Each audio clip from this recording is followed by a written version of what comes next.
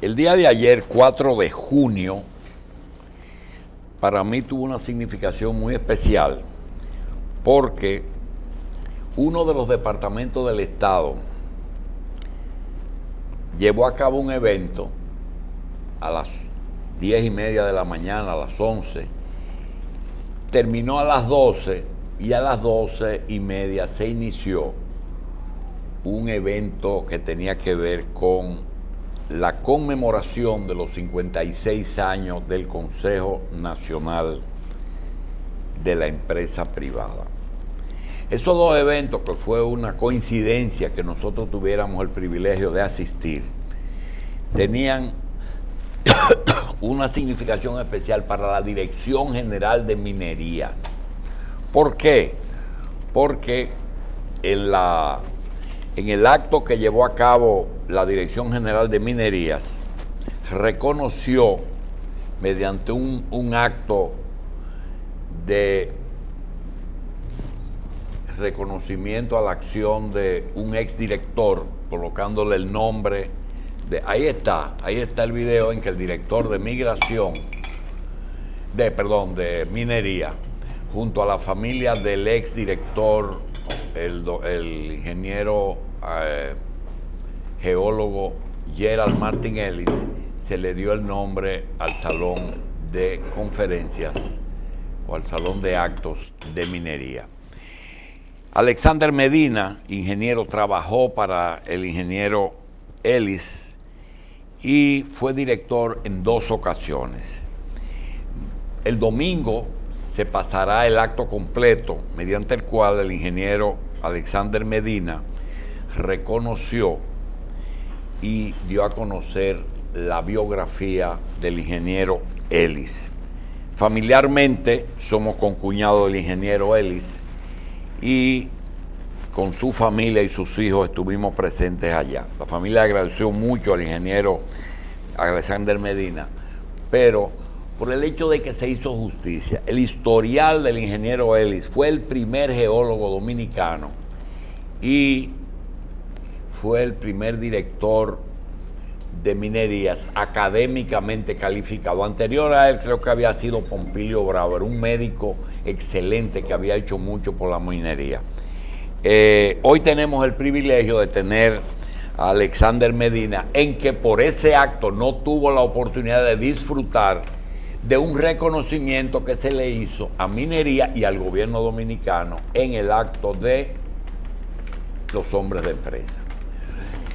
El Consejo Nacional de Empresa Privada celebró 56 años. Como es natural, eh, el, el acto estuvo una reseña de los 56 años en la que se puso de manifiesto la importancia y la incidencia de la empresa privada en el desarrollo dominicano. También tuvo que ver mucho el acto con el eh, la posición en todos los gobiernos surgidos a partir de la muerte de Trujillo, en que en los 56 años la empresa privada fue socia del progreso y propiciadora del progreso de República Dominicana, en que un poco más o un poco menos todos los gobiernos que surgieron a partir del 61, todos excepto aquellos gobiernos como el golpe y, la invasión, cooperaron con el crecimiento. También en el discurso el presidente reconoció que la competitividad y reconoció el hecho de que cada día se quitan trabas y facilitan la inversión extranjera. ¿En qué habló de minería? Sencillo. Minería es uno de los principales eh, productores de divisas y una de las principales fuentes de riqueza de República Dominicana. Es complicado porque tiene que conjugarse el medio ambiente con la economía de un país, sobre todo en productos cuya renovación son eh, productos no renovables, es decir, tardan muchos siglos y su permisología es difícil. Aún así, el gobierno y la dirección de minería han sido protagonistas del piropo que la empresa privada le hiciera, tanto en permisología como en facilidades para que el país pueda crecer. Nosotros tenemos el privilegio hoy de tener al director de minería, que tuvo un papel importante en la, el acto que se hizo en favor de un exdirector y luego de los piropos y reconocimientos que le hiciera los empresarios al gobierno, sobre todo en áreas tan difíciles como la minería. Le damos la bienvenida al ingeniero Alexander Medina. Le agradecemos también a nombre de la familia el reconocimiento que le hiciera. Ahí está, ahí tienen unas fotos para que vean de quién se trata. Y ahí está el, ese es el señor Gerald Ellis.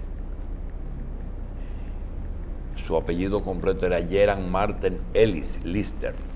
Y fue director en el 62 y en el 92. 92, 94. Bien, vamos a dar la bienvenida a Alexander Medina y justamente, primero darte las gracias por estar con nosotros.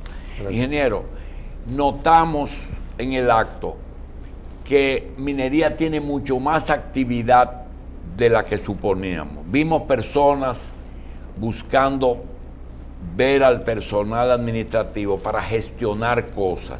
Vimos gente que tenían que ver con la construcción, con agregados, con cemento, con oro. Hay gente que dice que en su finca hay oro y quieren permisos de exploración. No el arimar, el ámbar y todo eso. Óyeme, lo que tú ves ahí, ve un día y, verás algo que tú no te imaginas. Tantas cosas con que tiene que ver minería. Es así, director. Así es, don Julio. Buenos días. gracias. a todo el elenco de Revista 110. Muchas gracias por la invitación. Efectivamente, todas las concesiones mineras que el Estado Dominicano concede entran por la Dirección General de Minería. Es la puerta de entrada porque, de acuerdo a la ley minera, es quien es la Dirección General de Minería quien tiene el registro público de derechos mineros, porque mucha gente no, no entiende o no sabe que en este país existen dos derechos de inmobiliarios. El derecho inmobiliario, que es el catastro, eh, la jurisdicción inmobiliaria que todo el mundo eh, conoce, y también está el derecho minero, porque el derecho de la tierra en la superficie es de propiedad privada y del Estado también. ¿Y el subsuelo? Por el subsuelo es 100% del Estado.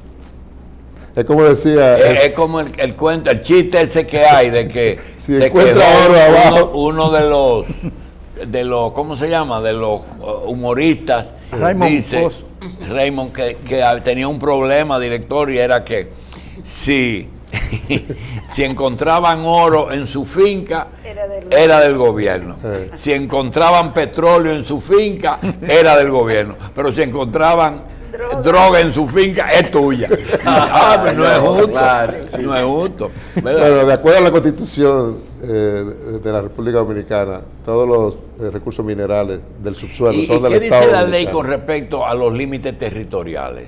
Porque hemos visto que hay minería por ejemplo, petróleo que se hace en el mar. ¿verdad? Eh, la plataforma marina de 200 millas es lo que funciona. También es del Estado Dominicano. Y el Estado Dominicano le da la ley, eh, es, para mí es la primera ley o la, primera descripción de una alianza público-privada, en donde el bien es del Estado y el y el inversionista privado hace eh, la inversión. Eh, en el caso de los minerales, la ley minera establece la manera de cómo usted solicita una concesión minera y el Estado le, eh, le evalúa, y en este caso lo hace la Dirección General de Minería, en tres condiciones muy particulares. Bien. Solvencia técnica, solvencia económica y solvencia moral. Bien, para que el público entienda algunas cosas, porque esto no es para ingenieros geólogos, sino para el público. Eh, el agua y el medio, el aire es cuestión de medio ambiente, lo regula. Minería no regula ni el agua ni el, ni el aire. Ni el pero pero, pero eh, los minerales, los vegetales los regula agricultura. El mineral los regula minería, se llama así. Pregunta. En el caso de, por ejemplo, la arena, en el caso de las piedras caliza o el caliche, ¿es cuestión de minería? No, la- lo que son lo que llaman minerales o materiales sueltos, Sí. que no es roca, Sí. es, se administra por la ley 123. Desgraciadamente la ley 123 ha dado muchas vueltas y, y- y no se ha podido hacer una minería bien hecha y hay muchas quejas en muchas partes del país. Originalmente la ley 123 del año 71 se asignó a la Dirección General de Minería. Hay una anécdota que el director de entonces le pidió al doctor Balaguer que le quitara eh, esa administración porque las presiones que tenía... de- ¿Y qué decía eso que traía problemas? no, eh, la ley 123 lo que administra son los agregados, o sea, los permisos de agregados. Ah, todas, todas las granceras estaban todas las granceras son de la ley 123. Entonces, en ese tiempo el presidente Balaguer se lo pasó a Obra Pública y en el año 2000 con la ley ambiental se lo pasó, la ley ambiental se lo pasó a medio ambiente. Y las canteras, cuando se extraen. Cuando son canteras de piedra caliza dura que tú necesitas eh, explosivo para poder explotar, eh, explotarlo, porque es el método más barato, necesitas una concesión minera. Pero una pregunta. En Moca hay una montaña que los camiones con una pala sacan cosas, sacan una arena que hay ahí y la colocan en camiones. Eso es minería. No, ese es un permiso que le dio medio ambiente. ¿Y qué buscaba ahí, por ejemplo, una fábrica de cemento en minería? Que yo encontré un ejecutivo de la fábrica de cemento. ¿Por ¿Qué, materia prima usan ellos que es minería?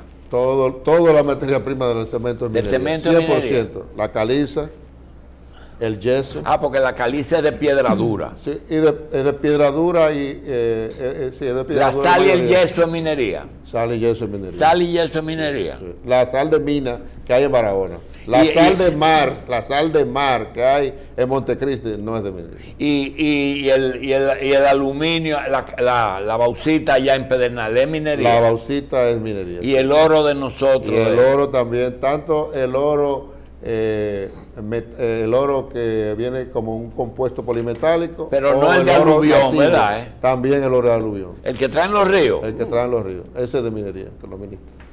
Y el- Ingeniero, Y esos gambusi, esa gente que, que lavan oro, ¿ustedes tienen que darle permiso? No, la ley minera permite que usted pueda en los ríos lavar oro sin permiso. Y, Pero y eso nosotros de, lo supervisamos. ¿Y de quién es?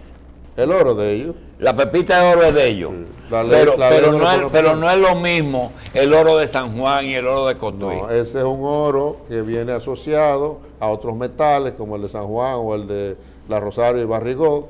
Esas son operaciones mineras que se regulan mediante una concesión minera o un contrato especial, como es el caso de Barrigó. mire, según los reportes, el- la exportación de minerales del país alcanzó unos 1.700 y tantos millones de pesos Así es. el año pasado. Hay el conflicto de Esa Loma- fue, eh, perdón, esa es la exportación de minerales Oro, o la parte que le correspondió al Estado. no, oro, plata, lo que se exportó, lo Ah, se vendió. El valor total de las exportaciones, sobre todo de minerales metálicos, que es oro, plata, cobre y níquel. Siendo este el principal renglón de ingresos que registra el país en cuanto a la venta del exterior, ¿qué, se- qué va a pasar con Loma Maravilla o Cerro Maravilla? ¿Se, le va, ¿Va a mantenerse igual que hasta ahora o se le va a permitir a Falcon ¿Cuál es el Cerro Maravilla? Loma Miranda. Loma Miranda. Ah, Loma Miranda. Maravilla de Puerto Rico. Sí, eh, pasa otra cosa. Loma Ahí Miranda. pasa una situación muy particular. Esa, el Estado Dominicano le dio esa concesión minera a, a la empresa Falcondo desde el año 55. Y Esa, esa concesión minera se dio en los años 50, se le vendió en el año 69 a Falcon Bridge la concesión y la explotación. Y yo quiero que antes de que usted conteste ahí nos diga qué diferencia hay entre derecho de explotación y derecho de exploración.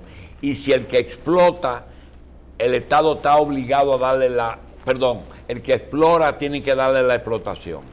Así es, el derecho de exploración es el derecho que, que el Estado le permite que usted busque minerales y los encuentre. Después que lo encuentre. usted los encuentra, usted tiene el derecho exclusivo, así mismo dice la ley, la opción exclusiva Si lo de la explotación. Sí lo encuentra. Y si pierde, y si no encuentra nada y su inversión, no se lo Perdió usted su dinero. Lo perdiste. Lo perdí. Entonces es una lotería. Es una lotería.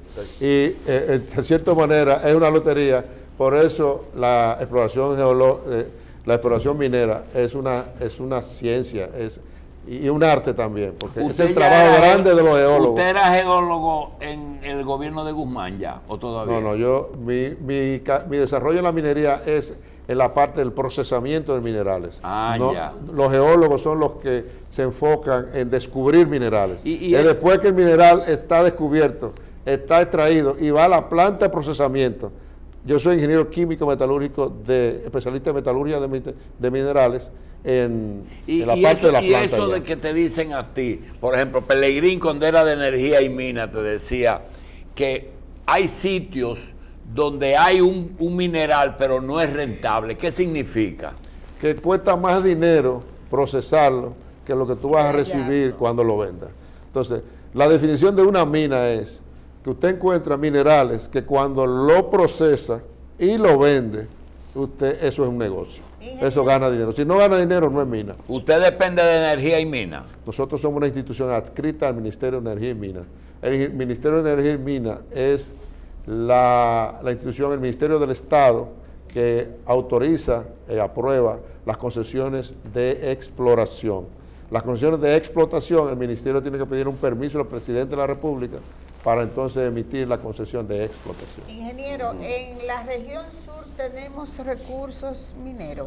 Sí, tenemos muchos, eh, sobre todo de minería no metálica. En la región sur tenemos mucho yeso, Sal y yeso. la sal, tenemos carbonato de calcio. Por ejemplo, tenemos una, una mina con un excelente mineral de carbonato de calcio en la descubierta.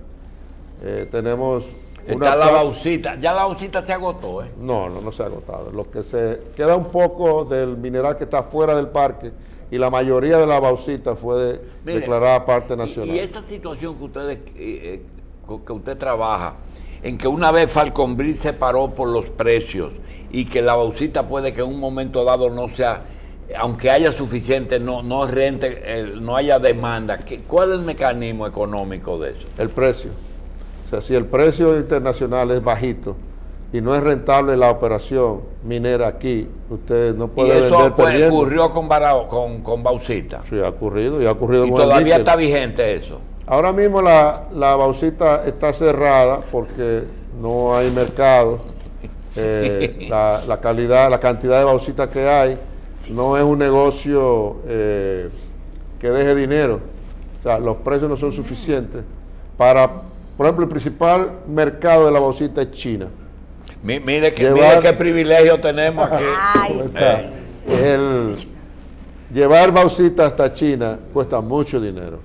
Nosotros propiciamos una operación de venta de bauxita a China del el año 2014, 2015, eh, hasta el 2015, y tuvimos que hacerlo en barcos gigantescos de 175 mil toneladas para poder disminuir los costos del flete. ¿Por qué dicen por ahí que aquí hay petróleo y no en charco largo, sino que aquí hay petróleo y que hay algo que falla? ¿Qué es lo que pasa con eso? Primero, hay petróleo.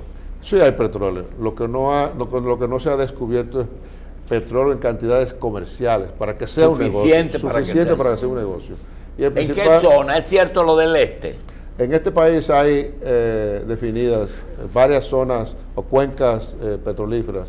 Está la cuenca de la zona de Asua, la cuenca de la zona de Enriquillo, que es el valle de Neiva, la cuenca del valle de San Juan, la cuenca del lado de, de San Francisco de Macorís.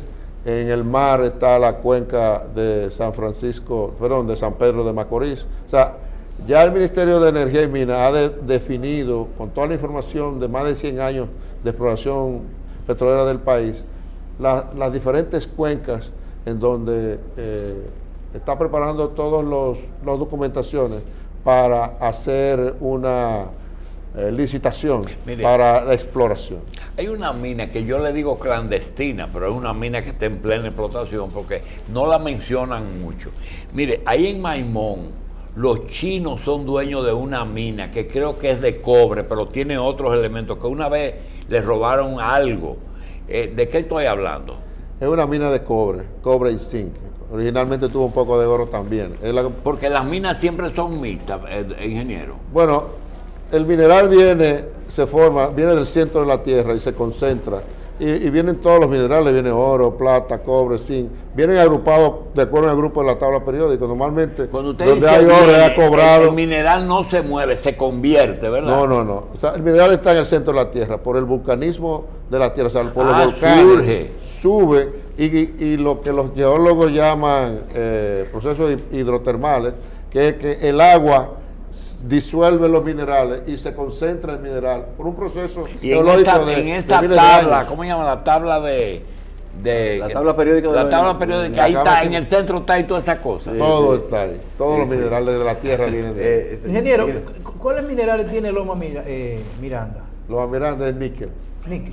níquel Mira, tú Sí, hablaste y- de eso y, y él, comenzó, pero- a- déjame decirte una cosa, yo conozco ese contrato.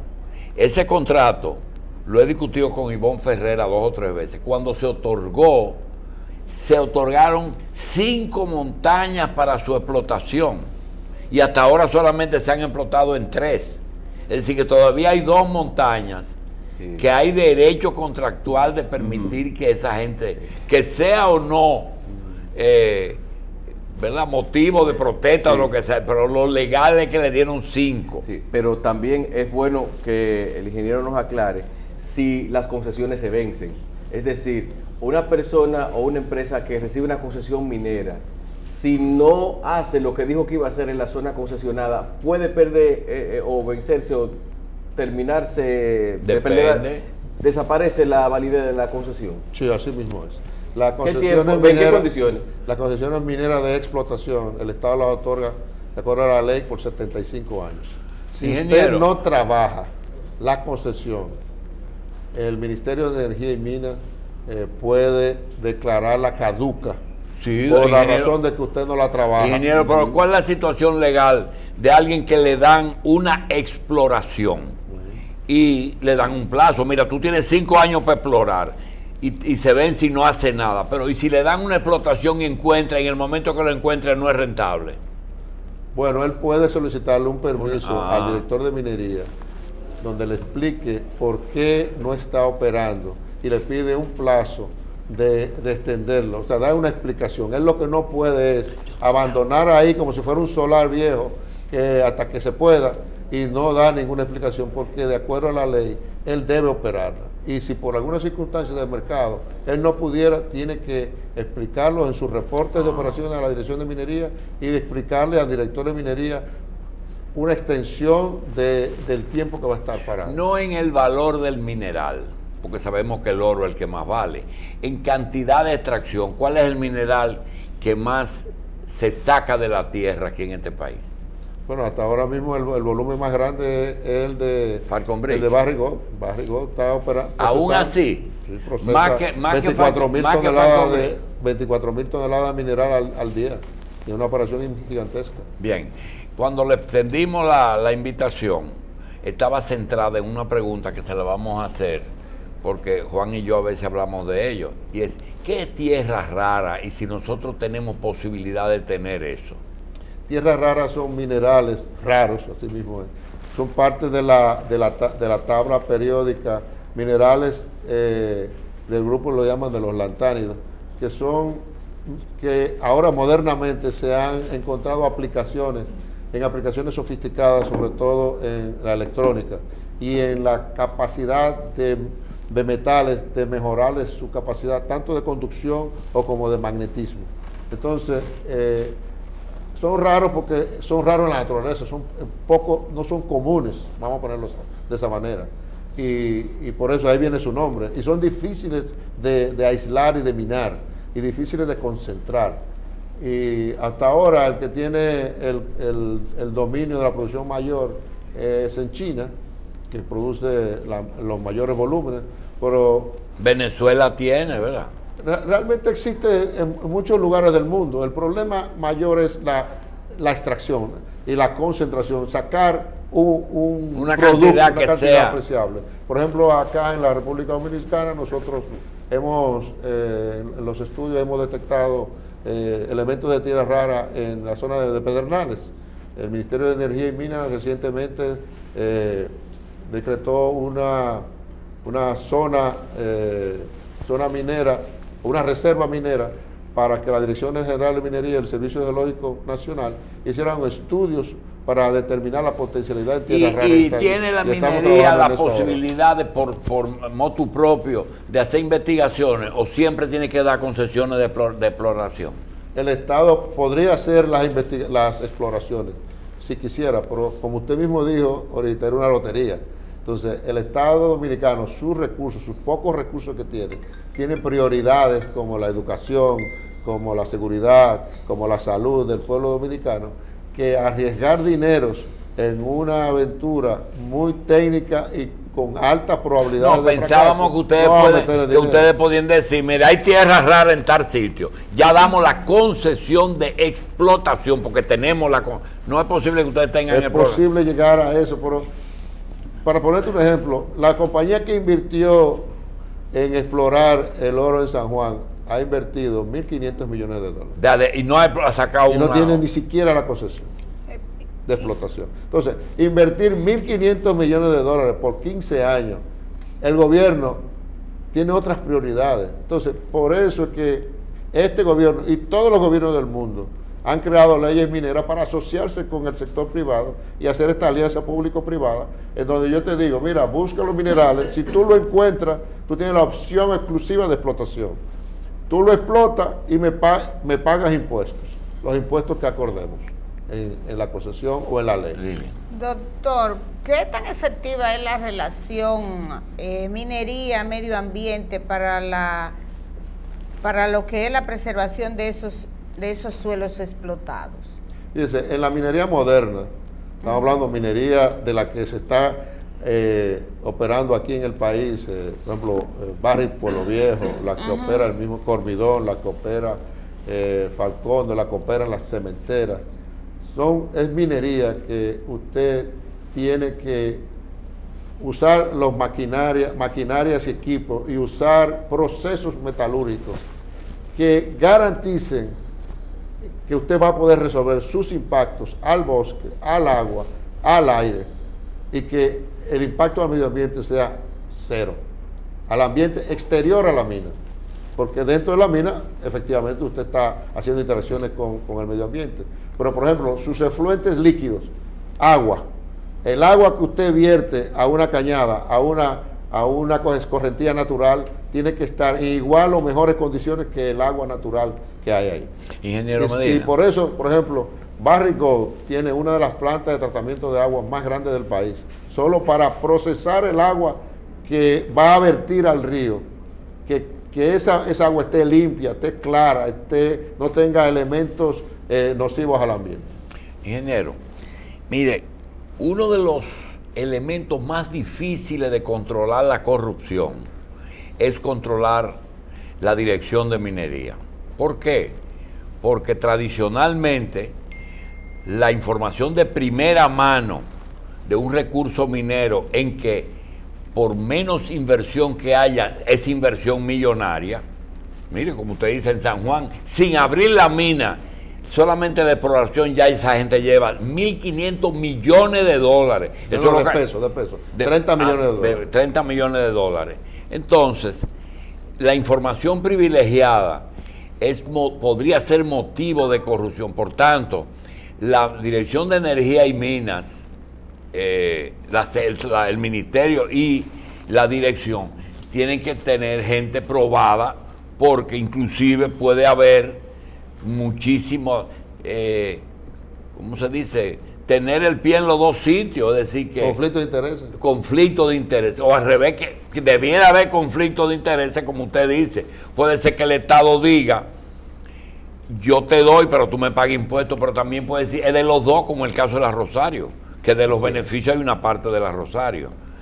Eh, realmente, usted está consciente de que minerías y que no es un problema de tribunales, sencillamente es a veces hasta, hasta mirar para otro sitio. Fíjate, nosotros hemos tratado de hacer nuestros años, siete años de gestión lo más transparente posible y de eh, in- inculcar a nuestros empleados que todos los concesionarios son iguales para nosotros, todos, y que debemos de respetarles sus derechos eh, a todos por igual. En la, en la minería y en la ley minera hay un derecho que se llama derecho de prelación, que el primero que va a la dirección de minería a poner una, una Solicitud. eh, solicitud es el primero que nosotros vamos a evaluar. Y que mientras no lo evaluamos, ese terreno es un derecho que él tiene hasta que el ministerio, la Dirección de Minería o el Ministerio de Energía y Minas se pronuncie si le va a dar la concesión o no. Y los traspasos de licencia, hay que estudiarlo en minería también. Sí, Cuando venden un permiso. Todas las concesiones mineras tienen que ser aprobadas por el Ministerio de Energía y Minas después que se que se Si que se tuviera en su No- no- decisión- ellos se solicitan todas las todas las tra- transferencias de derechos mineros se solicitan a la Dirección de Energía y Minería, nosotros las evaluamos y le hacemos nuestra recomendación al ministerio. Si tuviera la decisión suya, eh, ¿qué leyes usted modificaría o sugeriría modificar En el caso de la minería, en minería, en el área de las minerías? Bueno, pero nosotros tenemos que actualizar los, los pagos de patentes, por ejemplo. ahora mismo no se han actualizado desde el año 71. y son extremadamente ridículos los que estamos cobrando. Y de los ingresos del. Estado, ¿cuánto es por minería? Ahora mismo. Bueno, eh, si lo vemos eh, por los ingresos que, que Barry Gold o, eh, da al Estado, que es el, el mayor contribuyente, da cerca, entre, cerca de entre 200 y 300 millones de dólares al año, Barry Gold. Eh, los otros grandes contribuyentes son las compañías cementeras. No, en las estadísticas nacionales que tiene el Banco Central, no considera a las empresas cementeras como minería, la considera como construcción. Pero realmente el, es 100% minería. El principal problema que tiene las minerías es medio ambiente. No, ¿Por el- qué? El, principal problema no es, eh, mire, el medio ambiente no es un problema para la compañía minera o para la minería, porque la, la empresa minera tiene la capacidad de darle respuesta, remediar todos sus impactos ambientales, como cualquier otra. Sí, otra empresa. ingeniero, pero Ahora como- bien, ¿qué es lo que no hay?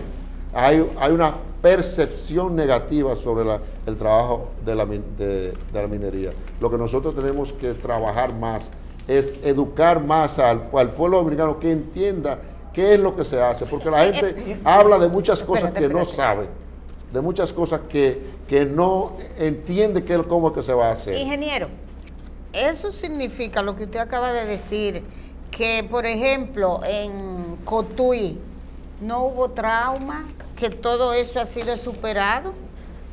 Ahora mismo, la operación que existe con Barry Gold, se resolvieron todos los traumas, todos los traumas. Ahora bien, ¿qué es lo que ha ocurrido? ¿Qué es lo que ocurre en, en Cotuí? En cualquier operación, o, o en los ingenios, o en cualquier operación grande, que tú tienes un vecino grande y rico al lado y tú eres pobre, tú siempre vas a querer que el vecino te ayude. Bien. Mire, eh, perdón, yo quisiera establecer, por ejemplo, usted eh, concede, eh, le permite a una empresa o a una persona eh, física que explore, se encuentra un mineral, pero si esa propiedad es de, otra- de tiene dueño, Sí. a ese dueño se le compensa. Tiene que o comprar la propiedad o llegar a un arreglo de cómo usted lo va a compensar. Miren, no puede ser. El eh, programa llegó a su fin, pero toca que nos, se nos quedan dos o tres temas que queremos comprometer al ingeniero Medina a, a volver por lo siguiente. Primero queda el tema de que a veces los ambientalistas convencen a los medios de que en los países no debe de haber explotación minera porque es un recurso no renovable, porque el dinero que sacan las mineras es mucho menos de lo que el pago del daño al medio ambiente. Mil razones, pero también aparece el que alguien que tiene 30 años en los medios dice, ah, no, eso es que la, la asociación de, de de desarrollo de tal provincia quiere unos cuartos y, y se ha inventado unos cuartos, o que un ambientalista quiere eh, chantajear a alguien. Entonces, esa situación es muy difícil de sortear, pero lo importante es, para despirar, Personalmente, ¿usted cree que la minería debe de desaparecer como una fuente de riqueza de los países y dejar todas las cosas como están? Definitivamente no. Y todavía voy más lejos. La sociedad moderna no puede vivir sin minería. Todo lo que tenemos aquí se ha hecho con minería. Todos lo- los edificios que tenemos, la varilla está hecho con minería, el concreto está hecho con minería, los celulares que usted tiene está hecho de minería, la televisión que usted tiene está hecho con minería, estas cámaras están hechas con minería. Oh. En la vida moderna no se puede hacer sin minería. Entonces, ¿qué es lo que en los países y en Regularizarla. mineras, qué es lo que se, qué es lo que ha- estamos haciendo la organización que yo presido, que es el Foro Intergubernamental de Minería, es hacer la minería más sostenible para que sea más aceptada, porque el mundo no puede vivir sin minería. Tenemos, ha vivido toda su vida y, va a continuar viviendo con minería. Lo que tenemos que hacer, ¿cómo podemos hacer la minería más sostenible? ¿Cómo podemos hacer que la minería pueda ser compatible con el medio ambiente? ¿Cómo podemos hacer que la minería sea aceptada por la sociedad, sea aceptada por las comunidades? ¿Cómo la minería puede ayudar a las comunidades en donde trabaja? Eso es lo que estamos trabajando y de eso me gustaría hablar en un próximo Seguro. programa. hay Doctor Alexander Medina, ingeniero minero, director general de minería.